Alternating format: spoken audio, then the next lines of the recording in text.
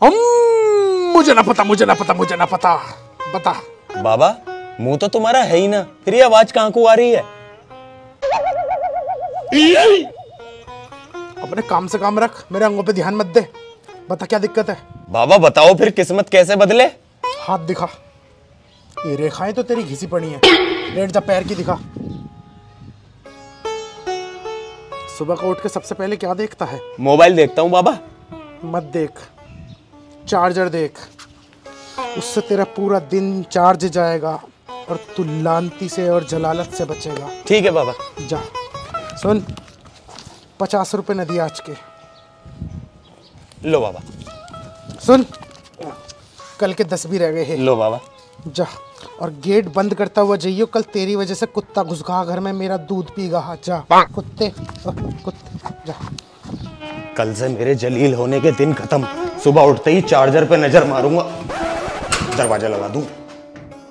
आज मेरी ये जलालत की आखिरी रात है। सुबह उठते ही इज़्ज़त की ज़िंदगी जीऊँगा। मस्त। और मोबाइल तुझे नहीं, तुझे देखूँगा चार्जर। अब सो जाता हूँ।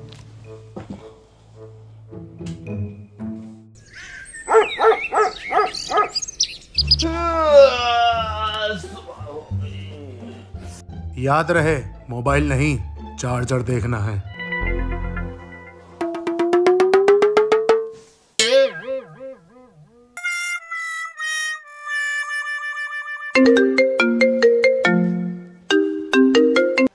हाँ दोस्त।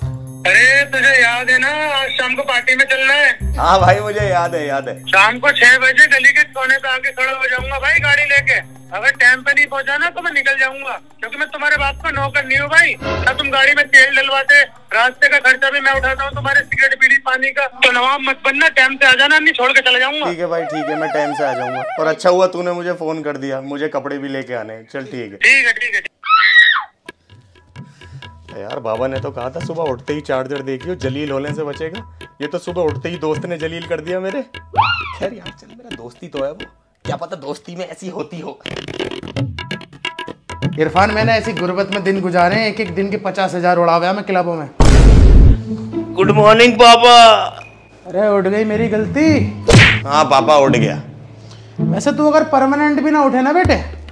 मुझे कोई खासा फ़र्क नहीं पड़ता। इरफान ऐसी निखट्टू औलाद होने से तो अच्छा है कि ये सोई की सोई रह जा।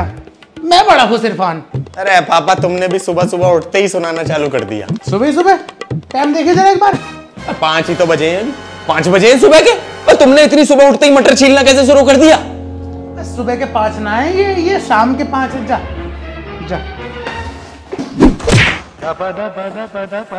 देख रहा है इरफान मुझे कैसा सता रखा है इसने। यार इस बाबा की बात में जरा सी भी मुझे सच्चाई नहीं नज़र आ रही। सुबह उठते ही दोस्त ने जलील कर दिया अब मेरे बाप ने जलील कर दिया। बाप? चल यार बाप ही तो है। क्या पता बाप बेटे के रिश्ते में ऐसे होती हो।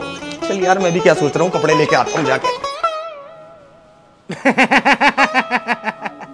हँसी का कार्टून। भाई एक जोड़ी कपड़े दो यार अच्छे से। अ भाई दो हंस क्यों रहे हो? पागल ही दिख है। ओ भैया देख उसने तो दिए ना कपड़े। तू ही दे दे एक जोड़ी अच्छे से कपड़े। वह दीवाने क्या हुआ देगा या ना?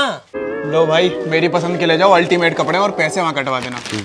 हाँ अच्छे हैं लो भैया ले लिए मैंने एक जोड़ी कपड़े क्या पैसे देने इनके आप दे दो दो हज़ार रुपये दो हज़ार रुपए? अरे यार आपसदारी में थोड़ी बहुत गुंजाइश तो हो ही जाएगी। ये लो तुम एक काम करो ये चौदह सौ रुपये पकड़ो। चौदह सौ रुपये में बात नहीं बनेगी भाई। ये दो हज़ार रुपये के कपड़े हैं यार यार दुकान चला रहे हैं। फकीर थोड़ी ना है यार पता नहीं कहाँ से आ गए। पकड़ो इन्हें दो हज़ार दो पूरे। यार भाई ऐसे सबके सामने जलील तो मत करो यार।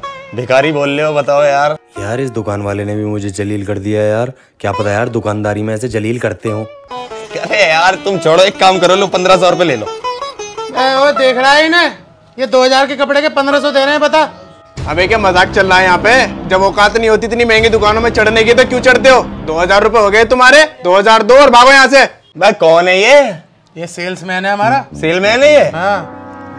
अरे सेलमैन ने जलील कर दिया। और जहाँ जा रहा हूँ वहाँ जलील कर रहे हैं। चल यार क्या पता है? सेलमैन की जॉब में भी जलील होते हो। लो भाई तुम एक काम करो।